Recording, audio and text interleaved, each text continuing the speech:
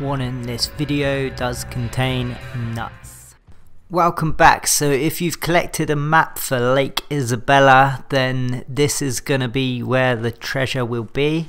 So if you've already got the map and you need to find the goods in one of the chests I'm going to reveal all locations so there'll be four locations where it will be so it's nice and easy just use your hunter vision look for the gold sort of colouring coming off the chest and also look for the vibrations on your controller because that will indicate you're getting close so here's the screenshots of all possible locations. Hope this helps you out. If it does, smash the thumbs up, subscribe if you're new, and comment your thoughts or if you're stuck on any and I'll try and provide some help for you.